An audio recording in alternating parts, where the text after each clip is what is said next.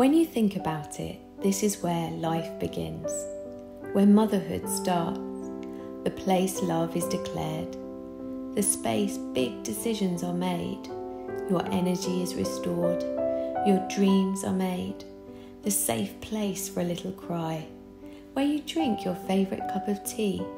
To get a moment before a party, before the in laws arrive, to make yourself feel beautiful, to compose and to repose. This is your space, the room of your own, your French bedroom.